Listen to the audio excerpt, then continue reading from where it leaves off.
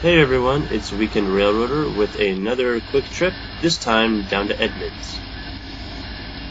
Yep, there goes another BNSF coal train. You see those pretty often, but what I'm going to show you is something you don't usually see quite as often. The location is Edmonds, Washington.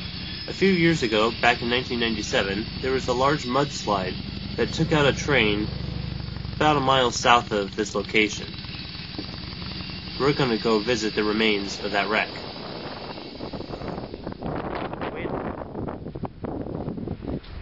Train wheel. And there's the other wheel and. What do we have over here? Is there more rocks?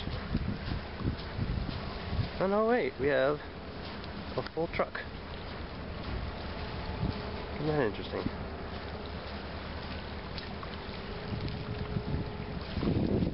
If you can see it, but right there. Railroad truck, bearing. And up here is where the 1997 mudslide took place. Yep, as you can see, there are still some old roller bearing trucks, as well as some cargo that was spilled during the mudslide wreck.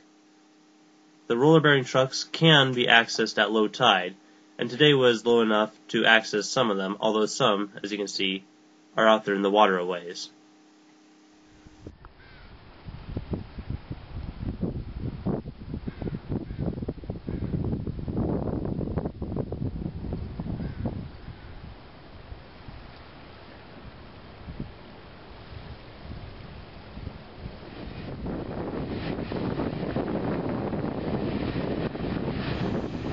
So that's about it.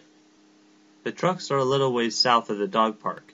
You can access them by walking along the beach. Just watch out for the tide.